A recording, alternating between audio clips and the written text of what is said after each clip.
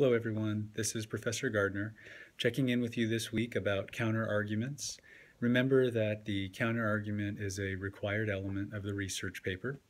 Counter-argument um, consists of uh, two parts and I provide multiple reasons why counter-arguments should be included and um, how they can be used, uh, specifically various kinds of objections uh, you should consider when you are creating your counterargument. Uh, but as I was saying, the counterargument consists of two parts, acknowledging an objection and then responding to it. Uh, I think the most effective way to incorporate your counterargument into the research paper is to acknowledge that there are different ways to solve the problem, the food policy problem you are trying to solve. Um, so you should acknowledge one of those alternative solutions to the problem.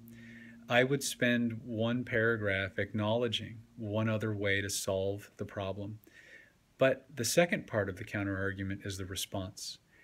And I would make the next paragraph after that a response to that other way of solving. And you focus on what are the problems with solving the food policy, uh, the food problem in the way that that other way of doing it would suggest. Okay. Um, so paragraph one paragraph would be acknowledging another way to solve it. The next paragraph after would be responding to that other way of solving it by focusing on what's wrong with that other way. That becomes a nice transition then to your food policy, your way of solving the problem that you think is better than that alternative way.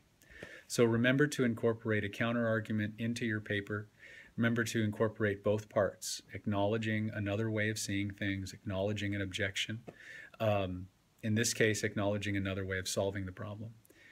And then include the second part, a response to that other way.